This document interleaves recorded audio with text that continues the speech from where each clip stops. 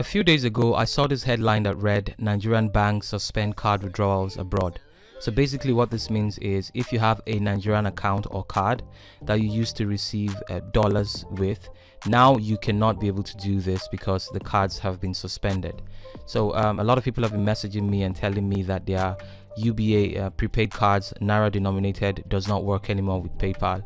Um, you can see here on one of our videos, um, one of our subscribers commented and said that I created successfully, uh, that I created my PayPal account successfully, but I, it keeps on declining my Naira prepaid Visa card and there's money in it. So I, I tried to inquire from them and they let me know that, yeah, they've activated the thing, it's, it's working, but it just will not work on PayPal.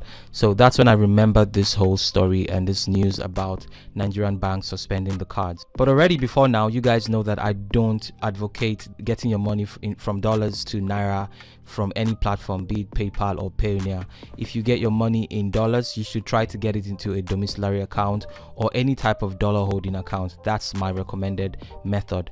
And I'll, I'll leave a link in the description to videos where I talked about this and the reason why you have to be getting your money in dollars anyways. So right here you can see this is my prepaid dollar card. It's linked to my account and it's working just fine.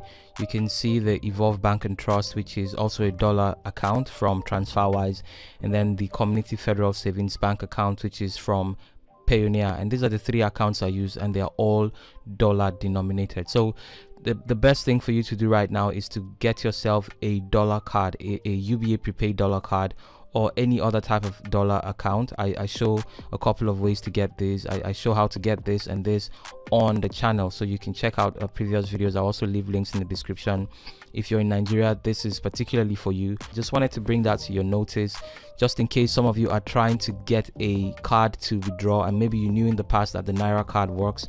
This is just a heads up for you to know not to get the naira card if you go to uba to get your card. So get the dollar card because that's the one that is guaranteed to work at least for right now. Maybe they're going to change this policy because i know that the cbn is clamping down on on on the banks and saying that they're going to stop to fund people who do arbitrage and all of that type of stuff. So there's a lot of back and forth going with the banks and cbn and availability of the us dollars right now. So um, that's the reason why all of this is happening. So probably they're going to reactivate the whole cards and then the naira card can come back in use. But for right now the best thing for you is the dollar card. And of course again the dollar card is the best because once you get that card you are going to get your money in dollars. But i need to give you a, a, warning anyways. It's it's very difficult or a little bit more difficult for you to make a withdrawal from your dollar prepaid card over the counter than it is for you to do from your domiciliary account. So you don't even feel it a teller as you as you would normally from any other account. So you'd have to write a letter to the branch manager or someone they will tell you who to address it to asking that your account be unloaded. That's usually the, the language they say to use. So it should be unloaded for it now to be available for withdrawal. So usually anytime i go to the bank to make a withdrawal from my prepaid dollar card i always expect to spend nothing less than an hour. Regardless of the queue in the bank i expect to spend nothing less than an hour because once i write that letter i have to wait. Sometimes i go out and come back later but i have to wait for that um, for the for the money to be unloaded like they said before i can actually withdraw. So that's one thing to take note of. So what I do is I just um, keep withdrawing to my card and anytime i go i know i'm trying to make one huge um, transaction. So i don't get a little bit of money and just run off to the bank because i know i waste a lot of time. So that's just a heads up as well for this card and that's really the only drawback and i think it's well worth it.